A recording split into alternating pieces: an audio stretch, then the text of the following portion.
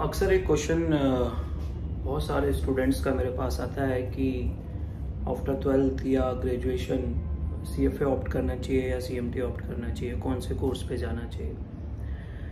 देखिए, सबसे पहले तो एक डिफरेंस है कि सी एम टी एसोसिएशन ने जो सी एम टी कोर्स कराती है, जो यू एस की बॉडी है, उन्होंने ऐसी कोई एलिजिबिलिटी नहीं बना रखी है कि सी एम टी किसको करना है तो मिनिमम एलिजिबिलिटी हम ट्वेल्थ लेके चलते हैं कि if you are completed your twelfth standard you can opt for C M T level one पहली चीज़ clear but C F A institute ने एक गाइडलाइन दे रखी है, एक मिनिमम एलिजिबिलिटी बना रखी है कि टू ऑप्ट या to enter into the C F A you must in third level of या और in third year of your degree जो आपकी ग्रेजुएशन डिग्री यानी कि बैचलर अगर आप थर्ड ईयर में हो तो you can apply for C F A level one तो ट्वेल्थ के बाद डायरेक्टली आप सी एफ़ ए नहीं कर सकते।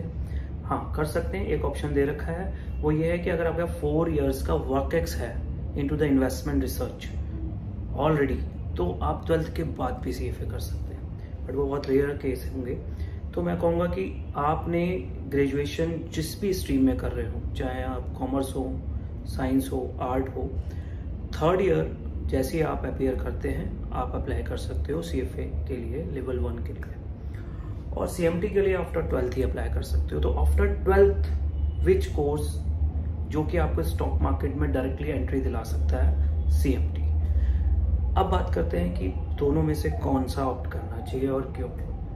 देखिए ट्वेल्थ के बाद या ग्रेजुएशन के बाद स्टूडेंट्स या पेरेंट्स को इतना नॉलेज नहीं होता है कि ये जो स्पेसिफिक कोर्स हैं, जो कि थोड़ा हटके हैं, हमारे ट्रेडिशनल कोर्स से जिसमें सी ए C S C W A आते थे और एम बी ए भी आता है। इनसे हटके कुछ स्पेसिफिक जिसको हम कह सकते हैं फाइनेंस लाइन में ये कोर्सेज हैं सी एम टी हो गया और सी एफ़ ए हो गया। ये दोनों कोर्स हैं तो स्टॉक मार्केट और इन्वेस्टमेंट से रिलेटेड लेकिन सी एम टी का more focus short term trading पर है शॉर्ट टर्म एनालिसिस पे है। जैसे कि आपको आज कोई स्टॉक खरीदना है और कल बेचना है, परसों बेचना है या एक महीने में बेचना है, इसको हम कहते हैं शॉर्ट टर्म ट्रेडिंग एनालिसिस करना। इस तरीके के डिसीज़न मेकिंग वाली जो जॉब्स होती हैं, यानी कि आपको लोगों को एडवाइस करना होगा, या फिर आपको रिसर्च रिपोर्ट्स बनानी होंगी, या फिर आपको खुद ट्रेड करना पड़ सकता है कंपनी के बिहार पे या अपने क्लाइंट्स के बिहार पे। इस तरीके के जो प्रोफाइल्स होते हैं direct trading profiles research analyst profiles ये सी एम टी ऑप्ट करता है।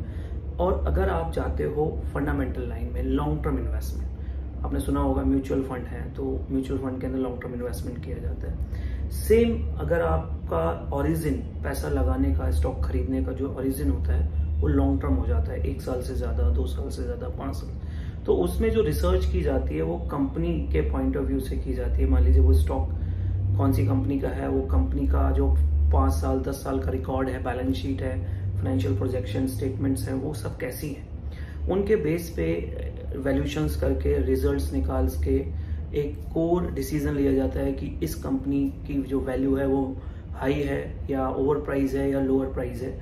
इस तरीके के जो डिसीजंस लिए जाते हैं, वो सीएफए लेता है।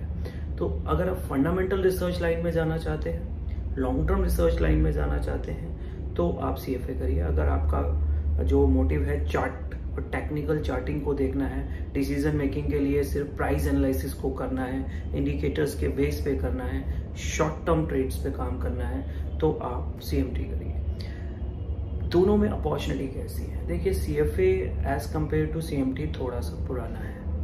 और इंडिया में भी उसकी जो जिसको आप कह सकते हैं रिकॉग्निशन है, वो थोड़ी पुरानी हो चुकी है आज के टाइम पे as compare to C M T only तो कहीं ना कहीं वो थोड़ा एज लेता है, क्योंकि jobs prospect C F A में ज़्यादा होंगे as compare to C M T क्योंकि ऑलरेडी इंडिया में अभी फंडामेंटल ग्राउंड पे काम ज़्यादा होता है टेक्निकल ग्राउंड पे कम होता है।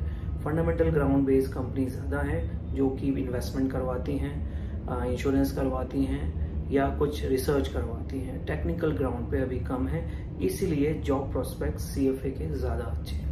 लेकिन सी भी धीरे धीरे ग्रो कर रहा है। टेक्निकल रिसर्च भी अपनी एक जगह बना रहा है इंडियन मार्केट में तो आप CMT भी ऑप्ट कर सकते हो।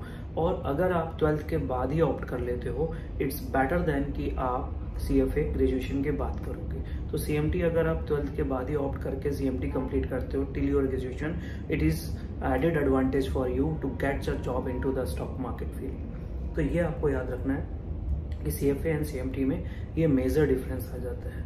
दूसरा डिफरेंस आता है कि हम किस तरीके के काम को करना चाहते हैं। तो ये कि ये अभी डिसाइड नहीं होगा, अभी आपको कोर्स ऑप्ट करना होगा, उसके बाद आप जब कोर्स धीरे धीरे करेंगे लेट सपोज़ आपने C M T level one किया you go for the job अगर आपने C F A level one किया you go for the job and after that आपका एक्सपीरियंस आपको बताएगा कि आप कैसे कैसे इस फ़ील्ड में ग्रो करते चले जाएँगे।